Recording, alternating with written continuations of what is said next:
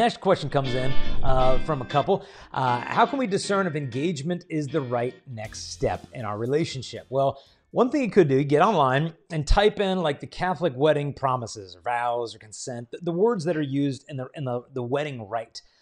Take those to prayer and really start thinking, am I ready not just to say these promises to my spouse? Um, am I ready to live these? Am I really ready to live these? You know, am I ready to receive this person fully? Or am I expecting this person to change? And really look at that. Like, is there stuff that you're just waiting for your fiance to change? Well, maybe marriage will deal with this. Look, if it's a deal breaker and you don't want this to endure in marriage, then don't move forward. You know, look, yeah, they're not perfect, but, you know, for the most part, if they still had these faults 10 years from now, we could still have a strong marriage. If that's the case, then okay. You know, everybody's got their imperfections. Also, is marriage reasonably within reach? And what I mean by that is, I always say engagement is for people who are ready to get married, not for people who can't wait to get married.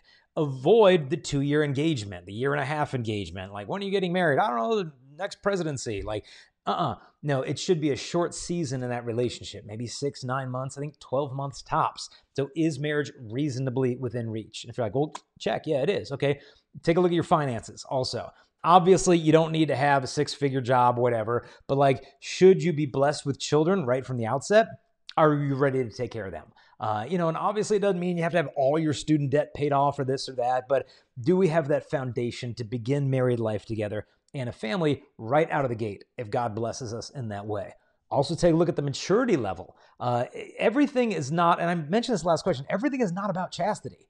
And what I mean by that is sometimes we over spiritualize the marital discernment process of thinking, well, we're on such the same page when it comes to chastity and spirituality. It's going to be a perfect marriage. So those other factors we've got to take a look at. Like, is the maturity there? Like, can we disagree lovingly and respectfully? Do we know how to solve problems? Do we know how to deal with finances?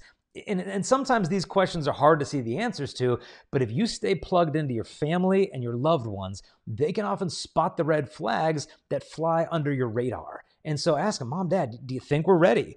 And they might say, Yeah, I was wondering when you get what you guys are waiting for. Or in many respects, you are, but here are some concerns we have. Have the humility to open up your heart to the guidance of the people that you love so that you're not just deciding on your own, you're having the humility to absorb the input from people who, who you love and respect. Take that all to prayer. Check out the wedding promises that you're going to make on that big day and see if you're ready to make the big dive. Now, Hey there, I hope you enjoyed that little clip, but if you want to see the whole episode where this came from, just click the link here.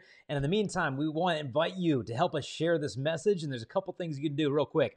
Number one, if you like or comment or share this video, YouTube will actually show it to more people. Also, don't forget to subscribe, hit the notification bell. We release videos every single day, and you'll be notified as soon as those come out. If you want to help us also to spread this message, you can support us at patreon.com slash Jason Evert. That helps us to create these videos and show them to the whole world. God bless.